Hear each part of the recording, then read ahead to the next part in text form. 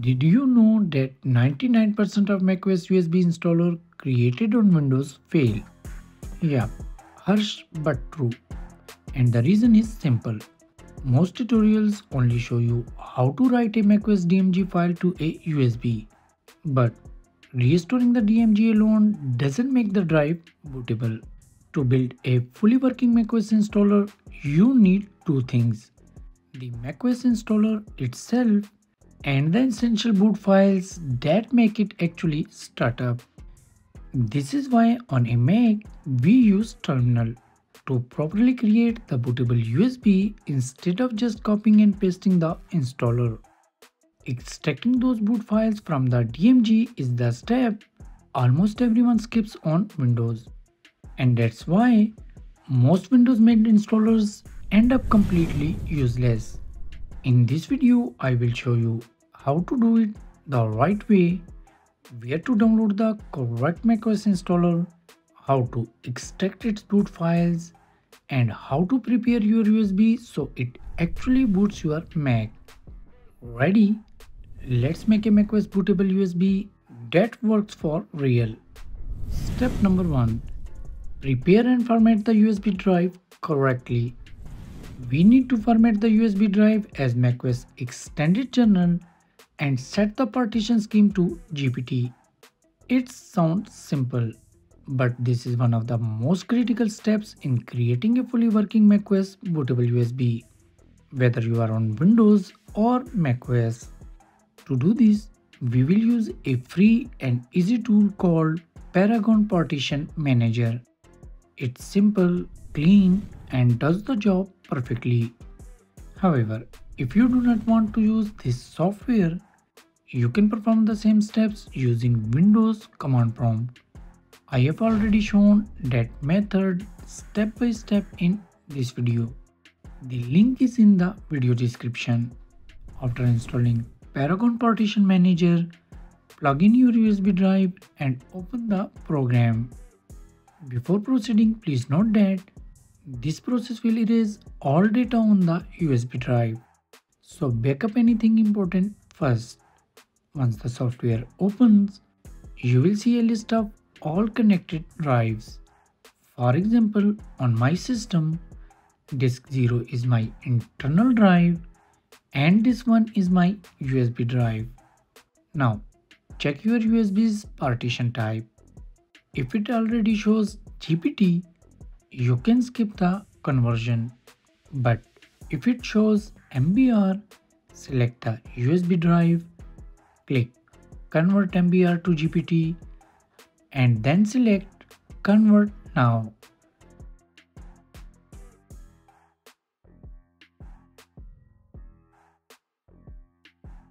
when the conversion is complete select the USB drive again click format volume and from the file system menu choose Apple HFS.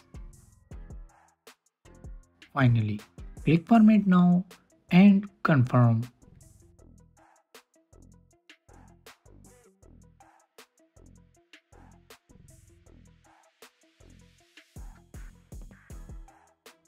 Our USB drive is now fully prepared. It's formatted in macOS Extended Journal with a GPT partition scheme, which is exactly what we need. Next, we will download the macOS installer. Open your web browser and go to the Apple Support download page. Then scroll down through the available versions. The first section on the page contains installers that can only be downloaded on a Mac. However, if you scroll a little further, you will find a second section with installers that can be downloaded on any computer, including Windows. Don't worry, we have already explained how to download and create a bootable USB drive for the first section installers in a separate video. For now, we will focus on the older macOS version from macOS Lion to macOS Sierra. Please note the method of creating a bootable USB drive is the same for both macOS Lion and Mountain Lion. Similarly, the process of Yosemite through Sierra is identical. So it means once you learn how to do it for one version, you will be able to apply the same process to the others. For this demo, I will be downloading two operating systems, macOS Lion and macOS Sierra.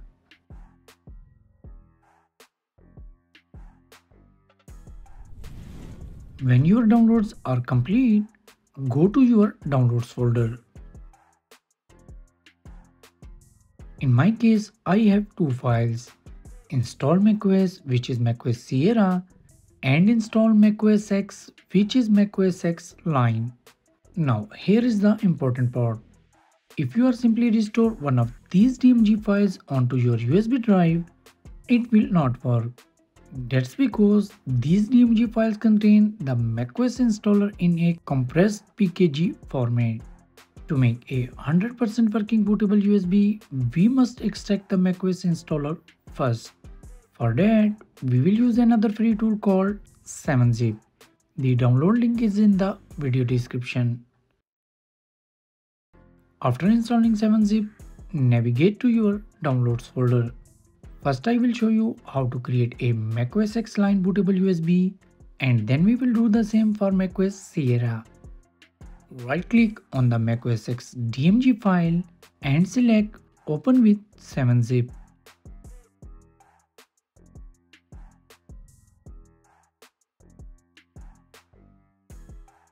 Inside 7-zip, double click the install macOS X folder. Right click on install macOS X.pkg file and choose open inside. Make sure to select the second option which has a store icon rather than the first one. Now open the install macOS X pkg folder. Once the folder opens, locate the installesd.dmg file. This is the exact file we need. Copy this file to your desktop for easy access.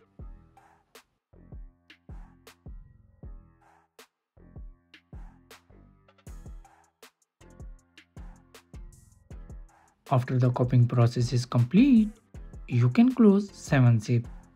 Next, we will need a tool that can restore the install ESD file to our USB drive. For this, we will use TransMac. You can download it from its official website, but there is one issue. In the latest version, the developer has removed two important features from the trial version, and one of those features is required to create a macOS bootable USB. Because of that, you will need to search for and download an older version of the app such as version 15.0 which still includes all the necessary functions. However, if you plan to buy the software, trust me, it's worth it. For this demo, I will be using the trial version, which gives 15 days, more than enough time for our task.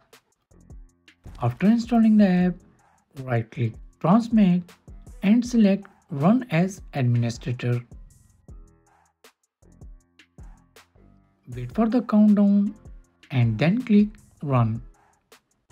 First go to the tool menu, open settings and enable the option to show hidden and system files.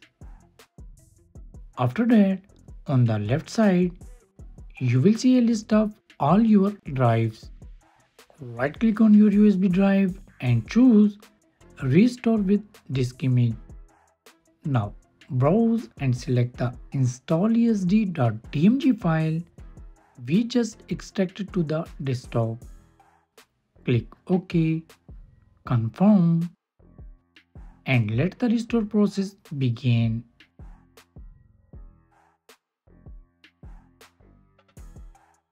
Once the restore is complete, click on your USB drive to check its contents.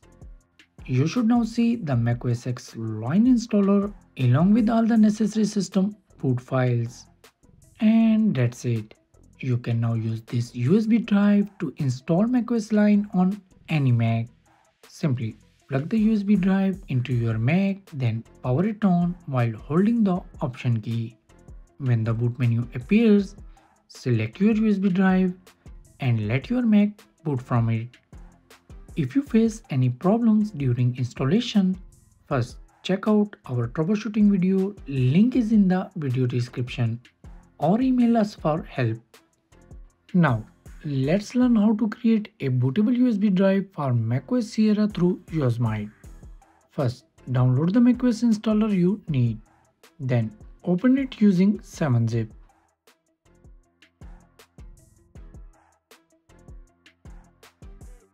Inside 7-zip, open the install macOS folder. Right-click the install macOS.pkg file and select open inside. Make sure to choose the second option. Next, open the installOS.pkg folder. Inside, locate the installesd.dmg file and double click to open it. You will now see the OSX install ESD folder. Copy this folder to your desktop.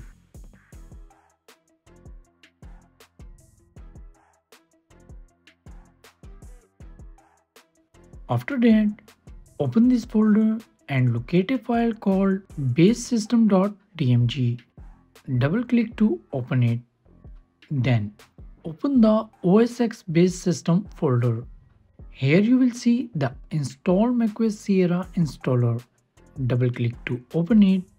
Then first open the contents folder, then resources. Scroll down and locate the install assistant.icons file. Then copy it to your desktop.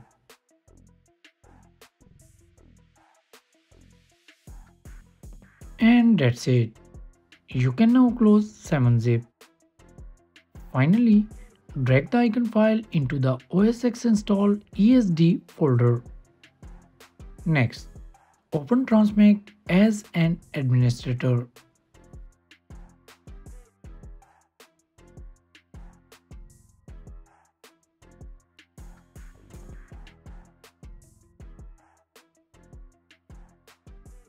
Right click on your USB drive and choose restore with disk image. This time select the base system.dmg file from the extracted folder.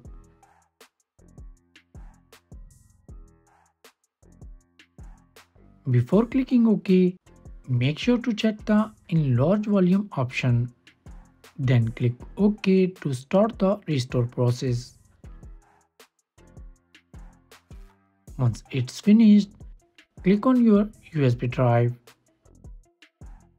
You will see that the macOS based system has been successfully restored. Next, navigate to the system folder, then open installation folder. Here you will see a file called packages. Delete it. After that, right click and choose copy here. Now go to the install ESD folder, select the entire packages folder and copy it to replace the shortcut with the actual folder. Once that's done, go back to your USB drive. We still need to copy three more files here to create a fully functional macOS USB installer on Windows. To do this, right click and choose copy here. Then select install assistant.icons, basesystem.dmg and basesystem.chunklist files from the extracted folder and copy them directly into your USB drive. Next, rename install assistant.icons to .volumeicons.icons. And that's it. We have successfully created a macOS Sierra bootable USB drive on a Windows computer. The installation process is exactly the same as I explained earlier. Plug the USB drive into your Mac, hold down the Option key, select the USB drive and follow the on-screen instructions to install macOS Sierra. If you face any installation errors, Make sure to watch our troubleshooting video or email us for help. Thanks for watching and I will see you in the next one. Peace.